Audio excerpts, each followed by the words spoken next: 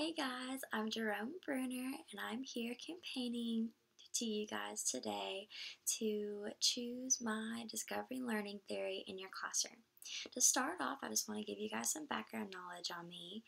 I was born and recently deceased in New York City.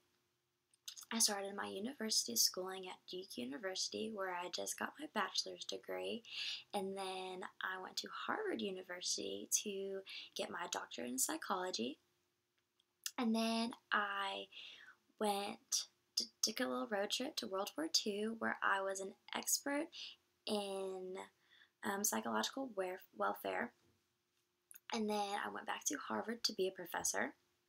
Then I left and went to the University of Oxford to be a professor of ex, um, experimental psychology.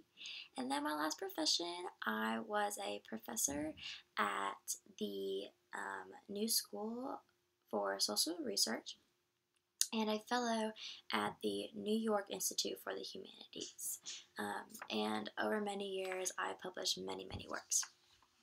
And so, for my discovery learning theory, um, I had a lot of um, help from my professors, um, um, professors like John Piaget and Lev Vygotsky, other constructivists. And so, the main um, framework for discovery learning is that students use their prior knowledge and background experiences um, to use them as they build upon what they're learning and the knowledge that's being um, um, instilled on them in the classroom. Um, and that's really closely aligned with the constructivist um, theory, where um, students um, build a body of knowledge based on past experiences. So, very similar. But the discovery learning theory has five principles. Um, principle one through three um, really is kind of like a scaffolding technique where the teacher um, is side by side with the student at first, um, helping them with um, what they're learning. And then um, the teacher takes a little step back and lets the students work in pairs to do, get some findings and do some things on their own. And then the students are solely by themselves and are able to discover and inquire things on their own, and that's um, really where students' learning is um, best formed.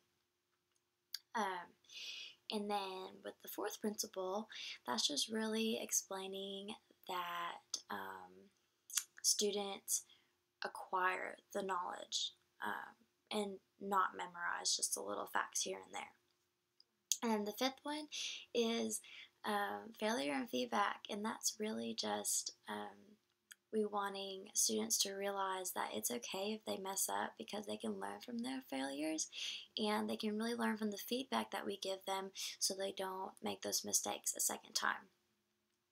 And so, with discovery learning in an elementary school classroom, it really involves a lot of inquiry based um, activities.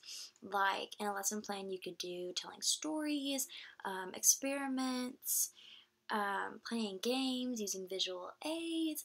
That all really is discovery learning because it's involving students in um, what they're doing, and that's really what um, discovery learning is all about.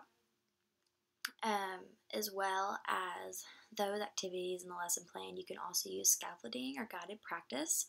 Um, those really um, go back to those first three principles of discovery learning. Um, what's best about discovery learning is that um, it really gets students involved in the classroom, and that's really the best time to instill this technique on students is in elementary school because in hopes that they will take this with them and use it in the long run throughout the rest of their schooling.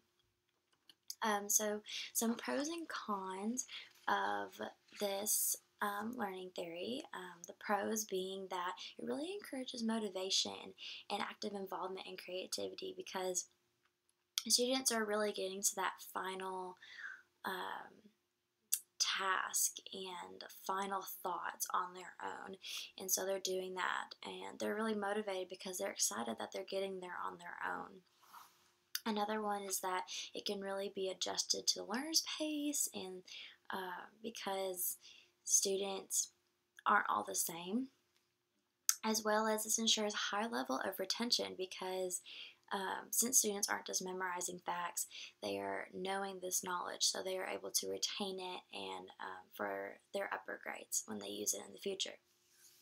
And the downsides and cons to this one, um, it's not really a main instruction um, theory because it's very time consuming.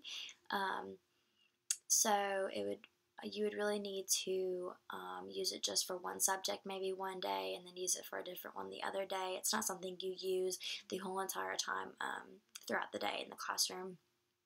And it can be very um, overwhelming for students that like structure because this one is not very structured very well. It's very um, here and there and students um, who like structure wouldn't really be for it. And um, teachers will have to really need to be um, prepared for questions that they um, might not be aware of because of the different questionings and discussions that are going on.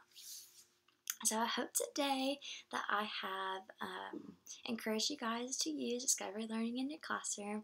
I am Jerome Bruner and have a nice day.